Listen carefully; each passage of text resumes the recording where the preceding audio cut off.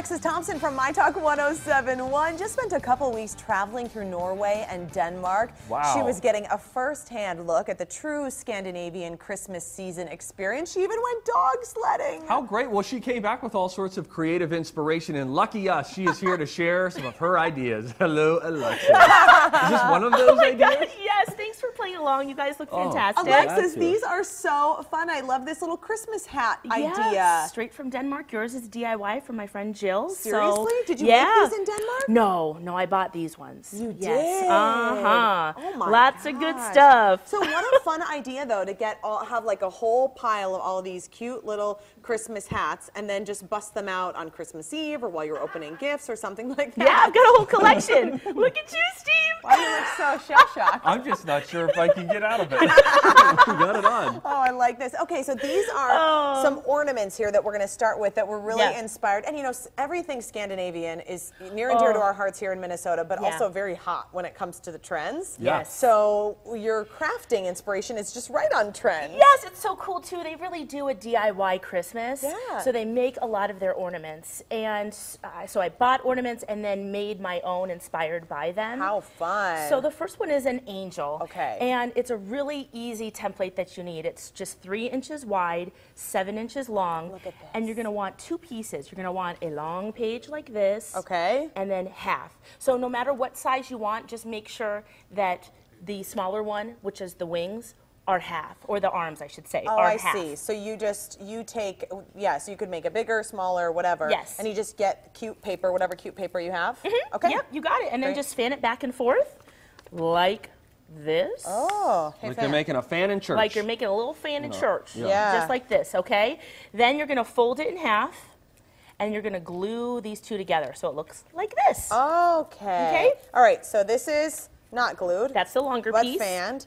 This is then when you glue it together. You got it. Okay. Then you're gonna take the smaller piece and then take, you can use string if you'd like, but I just use some garland. It's easier with wire and especially with kids. That's why this is so easy to make with them. Yeah. Then I just used um, a little bead with a little face on it, but you can use whatever you'd like. Oh. And oh. you wrap it like oh, this. Oh, you've got it step by step yes. here. Got little steps going. Yep. And then you make a Oh, little look how halo. Cute that looks. And then you can either make a ring or a hook, depending on how you want to attach it to your tree. Okay, it's so fun. these are really, really sweet, and cute. you could Sweet. make a whole bunch, and they just look like just sweet and like light and Yeah. unbreakable, and who Yes. care, you know. Yeah, they're you really just glue those two pieces together and done. So these are the ones that I bought.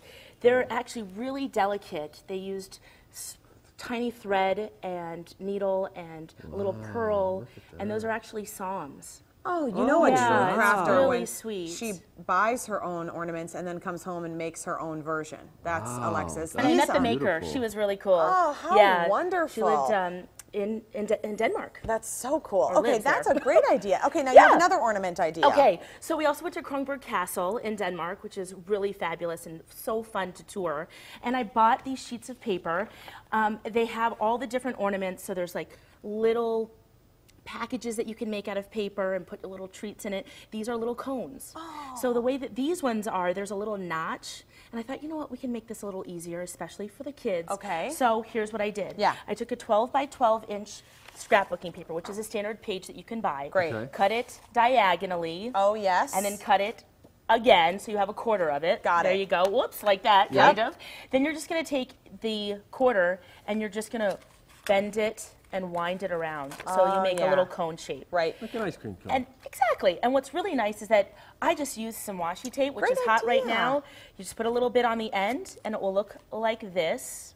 Okay. Okay. And then all I did was I took the tape, bent it down, I'm having Yeah. such a hard time. cut around it, bent the tape back in, and then Oh, hole punched it on the side, added, and then all you have to do is just add that through the other hole, Oh, I got it for you. Oh, okay. come Yes. on, complete it. and then twist it. And what's Yeah. so so cute with their Christmas trees is they put little treats inside. This is adorable. they use live candles too. But, Yeah. You know, we didn't quite adapt that. Here in America, we're not that we're doing. dangerous. We're not Yeah. even on the edge. Isn't that cute? And you That just hang is that on your tree, you put little treats inside, and voila. This is so cute. You could do these as like making your own little advent calendar. You could put the days and you could like nail them and make it so cute. Like once you kind of get this down, Yeah, right. You could make them.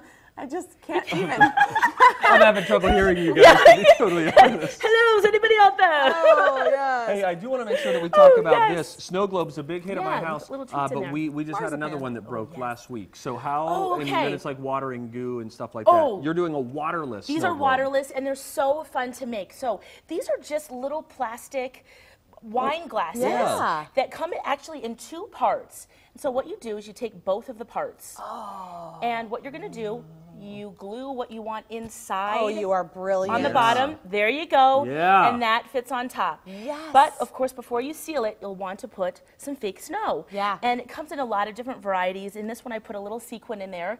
Yep, pop a little in there. Oh That's Oh my about right. Oh, there you cool. go. And then I hot glued it, and it really doesn't matter because once it see, isn't that cute? Isn't that fun? Once it all comes down to the bottom, you can um, put a little extra little ornament at the bottom. Yes, Alexis. There That's really go. cute. Boy, it's that easy too. So you can turn that into an ornament. You can drill a hole into the top. It can just be a little snow globe, whatever you'd like. Okay, those are Personalize it so too. fun. you Good did job, a great Lex. job. Thanks, for guys. getting us in the Christmas spirit. Thank you. So be sure to listen to the Jason and Alexis show starting at 5:30 on My Talk 1071. I join in on the conversation every day at 7. You guys are going to Yes. be at Rosedale Center Yes. for the big Pay It Forward event Oh, tomorrow. It's such a cool event. We're giving away a $300 gift card every hour, and then oh. that person can gift it to someone shopping in the mall. Isn't that cool? Whoa, How that's cool. awesome. Yeah, so head out to Rosedale Oh, and see really everybody. cool. Oh, thanks, Yeah, Lex. thanks, Thanks. Lex. Okay, coming up next, our doctor is here with five pieces of advice for breastfeeding.